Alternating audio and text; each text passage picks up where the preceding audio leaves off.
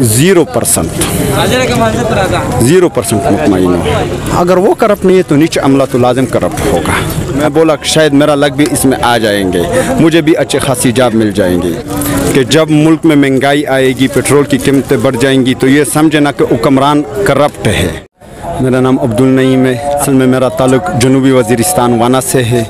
Actually मैं यहाँ पे बिज़नेस कर रहा हूँ। मैंने एम एस सी एग्रीकल्चर की हुई है ना 2012 में फ्राम गुमल यूनिवर्सिटी डेरा इसमाइल खान। इसके बाद मैं चला गया सऊदी अरेबिया में। उधर काम करता था work as a safety officer and safety supervisor फिर बाद में जब पीटीआई की हुकूमत आ गई, हम इमरान खान की वो बातें सुन रहे थे कि लोग बाहर से आके यहाँ पे नौकरियाँ ढूँढने के लिए आएँगे।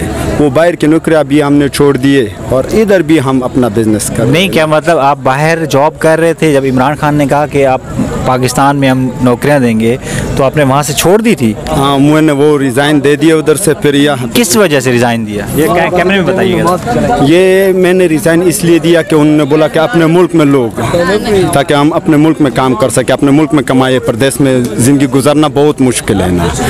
इसलिए आ गया कि इमरान खान वो बड़े बड़े सब बात कर रहे थे हमें कि हम ऐसे नौकरियाँ देंगे पचास लाख घर बनाएँगे एक करोड़ नौकरियाँ देंगे। मैं बोला शायद मेरा लग भी इसमें आ जाएँगे। मुझे भी अच्छी खासी जॉब मिल जाएँगी। इमरान खान के कहने पे आपने जॉब छोड़ दी वहाँ हाँ छोड़ दिए लेकिन 2018 के इलेक्शन में मैंने सऊदिया से आके इधर पाकिस्तान में वोट भी कास्ट किया इमरान खान को? नहीं इमरान खान को नहीं दिया क्योंकि उसने अपना कैंडिडेट अली वज़ीर के मुकाबले में नहीं खड़ा कर दिया। हमने अली वज़ीर को वोट दिया।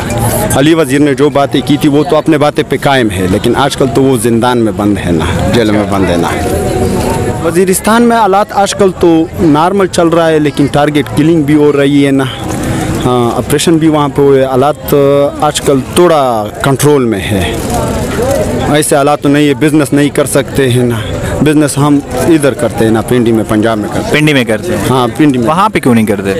वहाँ पे हालात इतने सजगार नहीं है सिक्योरिटी की थ्रेट्स होती है ना। यही मसला है ना। अच्छा। अच्छा ये बताएँ इमरान खान की हुकूमत से कितना मुतमिन है आप? ज़ीरो परसेंट ज़ीरो परसेंट मुतमिन हो। कुछ भी ज़ीरो परसेंट कोई काम नहीं कर रहा नहीं कर रहे जो उन्होंने बोला था वो एक भी नहीं किया है ना उसने।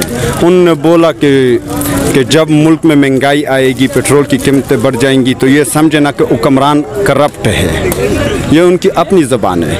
ये तो खुद ब खुद अभी खुद पता चलता है कि हर चीज़ में महँगाई आ रही है ना। तो क्या कहते हैं करप्ट है अगर वो करप्ट नहीं है तो नीचे अमला तो लाजम करप्ट होगा। अभी भी इमरान खान को सपोर्ट करते हैं आप? नहीं। असल में मेरा ताल्लुक जो है ना कॉलेज और यूनिवर्सिटी से पख्तनख्वा मिली अवामी पार्टी से था और आज भी है आइंदा भी इनके साथ रहूँगा। अच्छा ये बताएँ आपने वहाँ से जॉब छोड़ के यहाँ पे आ गए हैं पाकिस्तान में।